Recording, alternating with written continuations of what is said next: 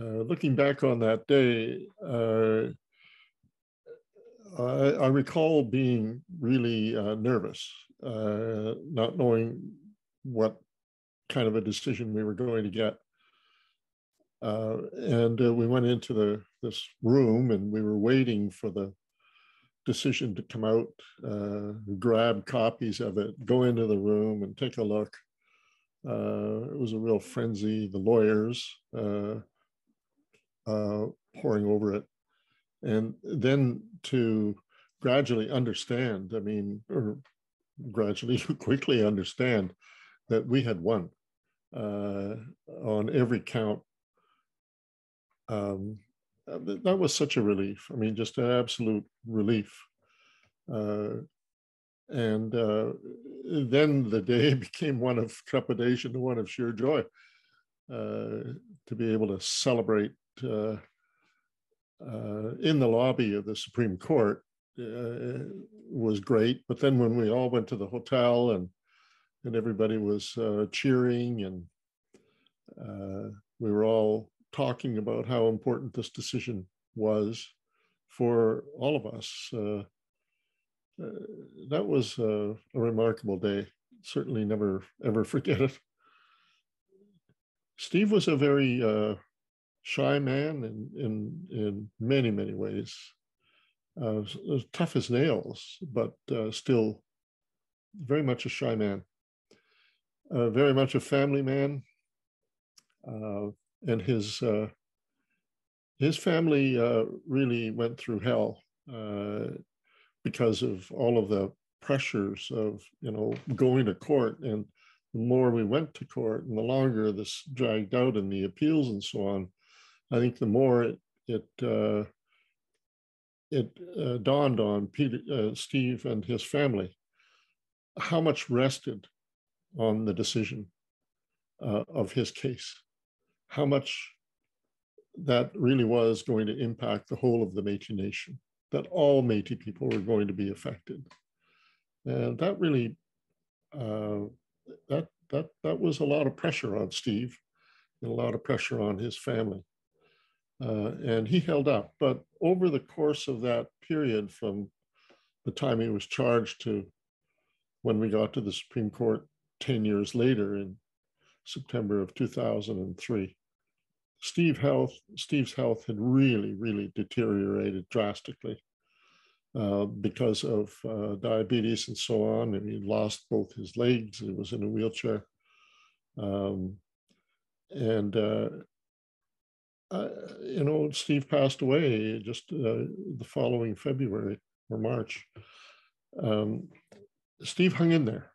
He, he, he knew how important this decision was uh, he he fully realized uh, the legacy, one way or another, that was going to be bestowed on him, depending on what happened, what the outcome was. Uh, I was really so proud of him and so happy to be with him to see how pleased he was. Um, you know, he, he knew how important this was for his family. He often talked about how important this was going to be, not only for his uh, uh, son and his daughters and grandchildren, but also for all Métis people. The Métis throughout the whole of the Métis homeland are now benefiting uh, because of what was done. I think a feather in the cap of the Métis Nation of Ontario. Uh, uh, that they did what they did um, to support Steve Powley. And Steve's the one who has to take all the credit for saying he wasn't going to back down. He was going to fight this case. He wasn't going to hide in the bush anymore uh, and uh, be charged and pay fines and go back out to hunt again. He was going to fight this. Uh, so we had the champion uh, and the Métis people and the Métis Nation of Ontario backed him. And all Métis people, all people of the Métis Nation throughout the homeland uh, are now the beneficiaries of that. Another really incredible thing about uh, the Powley decision is how that has transformed uh, our relationship with Ontario. You know, when we got to court, we we heard Ontario's position that there were no Métis in the province. That uh, if there were, uh, they don't exist anymore, or if there's communities here, there's no connection to what might have existed in the past, and uh, Métis never exercised rights uh, anyway. Uh, and if they did, they were extinguished. I mean, this whole denial of the very existence of a people in the province of Ontario. I mean, which all comes from those days of uh, uh, when Ontario was really south of the French River, and it was ruled by uh, the Orangemen, uh, who hated the French and hated the Catholics, and by extension, hated, hated the Métis, who they saw as French and Catholic. Uh, and uh, and that that what that had resulted in was systemic discrimination throughout the whole of Ontario's government against the Métis people. I mean, uh, it was just awful. And then the uh, the whole business of uh, of um, uh, trying to charge our people, even though we had won in court and and all of those other things. Uh, and it, it, it, was, it was terrible. Uh, the whole relationship with Ontario was just awful.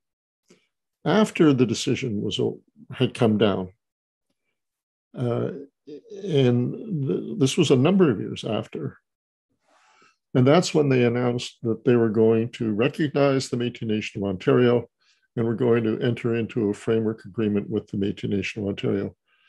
That was hugely significant. Um, it was a great victory. There have been relationships dealt uh, developed with the Ontario government, with the Métis Nation of Ontario. Um, we now have uh, we're seeing greater access to funds than I ever thought possible at one time for healthcare and for students and for uh, uh, education, everything. Uh, it, it's it's amazing, and that's that's another one of those turnarounds, consequences, uh, the positive consequence of of the Powley decision, uh, and it's not only the tangible things that come with it. It's how this is changing, I think, attitudes of people throughout the province generally towards Métis people and perhaps to First Nations as well. Uh, this has all been so positive. Uh, it's because of Steve Powley.